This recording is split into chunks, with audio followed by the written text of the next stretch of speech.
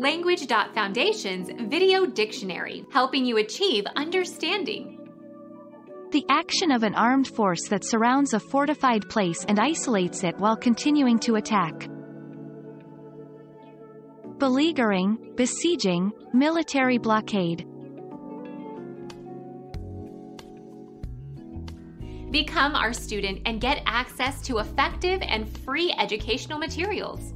Subscribe to our channel to become a part of our growing community and to learn English effectively.